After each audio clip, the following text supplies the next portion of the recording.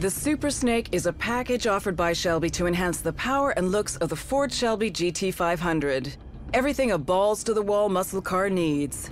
With an increase of 16 horsepower of boost on the Whipple supercharger, the peak power of the 5.4 liter V8 has been increased from 550 bhp at 6,500 RPM to 750 bhp at 6,200 RPM. If the driver is able to harness all this extra power, they will complete the standing quarter mile in 12 seconds flat, with a speed of 120 miles per hour at the line. The hood is now one giant air scoop designed to push as much air into the supercharger as possible.